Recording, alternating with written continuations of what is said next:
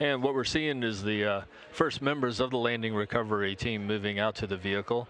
They are just making sure that the atmosphere, that the environment is safe around Starliner. Starliner, of course, comes back um, through the atmosphere with the maneuvering fuel. It, it, jettisons quite a bit of it on the on the way down, but they do need to confirm before uh, the whole teams get there that the uh, environment is safe for the uh, for the landing recovery team.